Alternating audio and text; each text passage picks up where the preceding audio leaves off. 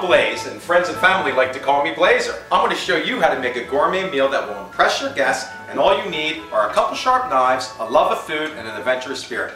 You don't need a fancy kitchen to make a great meal. I mean, look at me. My cabinets are falling off, half my equipment doesn't work, but I still make gourmet meals. I work with what I have. Today's meal is going to be an endive salad, a duck ragu over pappardelle pasta, and chocolate blini. First, we're going to work on the salad. The salad is a showcase of four flavors, salt, sweet, sour, and bitter. I love that combination. The sweet are candied pine nuts, and I'm going to show you how to candy pine nuts right now. Let's go. All you do is put a little sugar in a pan, about three tablespoons, and you melt it over heat. Mine's already caramelized a little bit, but that's okay. You're going to put your pine nuts in. It's about a third of a cup, and you're going to stir it in this molten sugar until it caramelizes. Now the pine nuts are finished, nicely caramelized.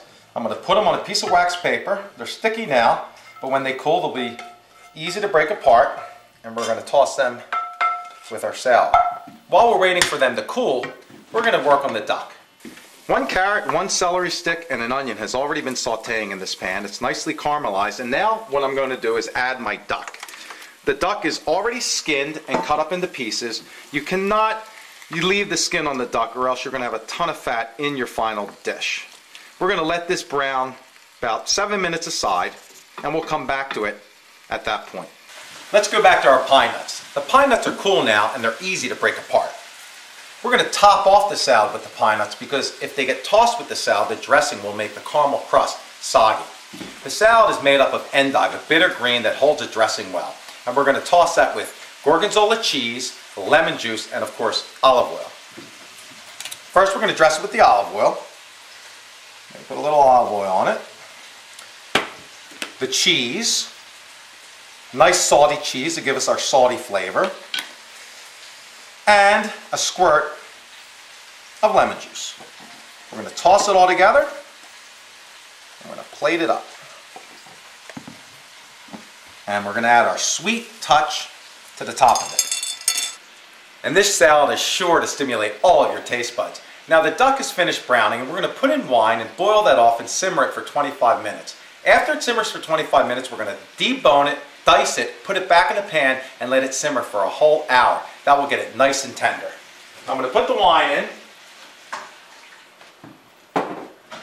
shake it a little bit, and I can just leave it. That's a beautiful thing about this dish. The heat does most of the work.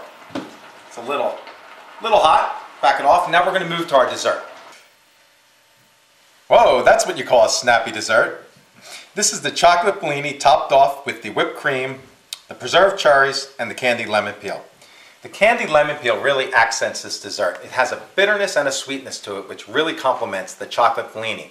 The preserved cherries are very nice too, and what I always like to do is to drink the preserved liquid after I have the dessert. Salud. It's a great end to a great meal. Let's finish up with the duck. I've already tossed the pappardelle pasta with the duck ragu. I do it right in the pan because it keeps the whole dish warm and it keeps me from having to clean another plate. I'm going to plate it up right out of the pan. I'm using these metal tongs. I know it's a non-stick surface, but don't tell anybody. I'll be careful. Plate this up. The pappardelle pasta is really wide. And what's nice about that is it holds a lot of the sauce. Now this dish, you don't have to put a lot of sauce on it because a little goes a long way, but it's all held together by this wide pasta. I like to garnish it with celery greens. First of all, it gives it a nice contrasting color and also celery greens are a nice alternative to parsley. And celery is an ingredient in the dish. And there you have it, a centerpiece to your delicious meal, the four flavor salad, your pasta, and the polenta blini. See you next time.